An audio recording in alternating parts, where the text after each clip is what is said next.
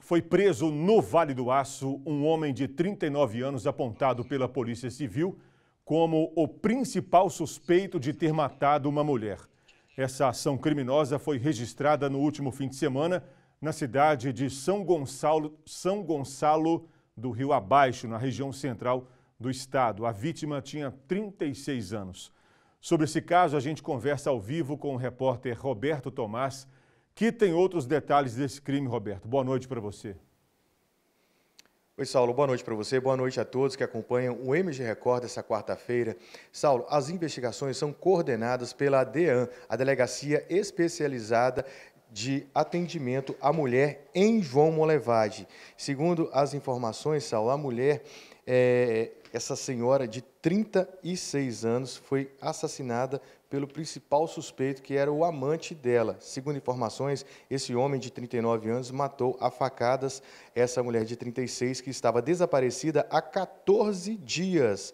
O corpo foi localizado soterrado a mais de 7 metros de profundidade no município de São Gonçalo do Rio Abaixo, na região central do estado. O investigado confessou ter matado a mulher a facadas, motivado por ciúmes e também com o intuito de ter a guarda do filho exclusivamente para ele, Saulo. A mulher manteve um relacionamento por quatro anos e teve um filho, hoje com dois anos de idade, mesmo sob ameaças.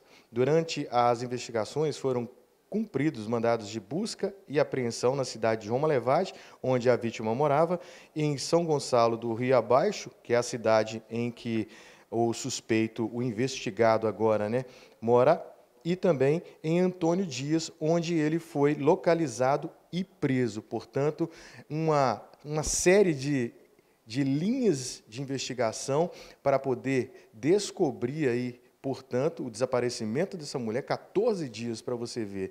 Então, a polícia teve que buscar várias informações, traçar metas e também ter à disposição o serviço de investigação para poder conseguir localizar essa mulher e tentar desvendar esse crime macabro que aconteceu lá em São Gonçalo do Rio Abaixo. Saulo.